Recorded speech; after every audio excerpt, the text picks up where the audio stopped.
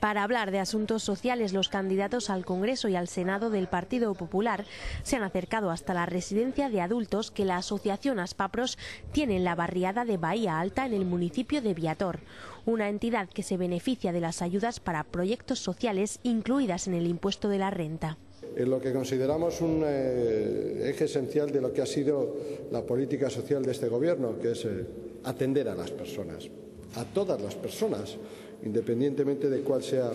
su situación, eh, su condición o su capacidad. Y creo que es la forma de vertebrar un país como el nuestro y de hacer cada día un país más justo y más solidario. Hernando ha destacado que el Partido Popular aboga por una sociedad accesible para todos en igualdad de condiciones y ha recordado que durante la pasada legislatura se elaboró una ley general sobre los derechos de las personas con discapacidad. Además, eh, para la próxima legislatura ampliaremos el cheque de 1.200 euros para que se pueda beneficiar todos los contribuyentes con discapacidad y sus cónyuges de esta ayuda. En cuanto al tercer sector, hemos renovado la ley de voluntariado, aprobamos la primera ley del tercer sector y hemos destinado 3.000 millones de euros al pago de las deudas pendientes de las administraciones eh, públicas con las eh, distintas organizaciones no gubernamentales que trabajan